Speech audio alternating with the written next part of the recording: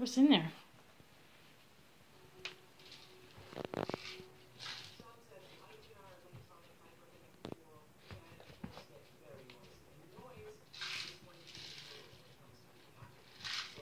Oh, good boy.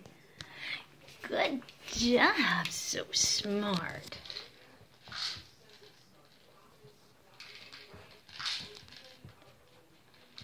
Good job.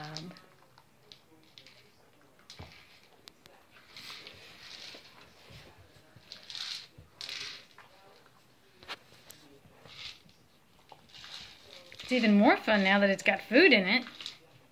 First it was just your wrestling buddy, but now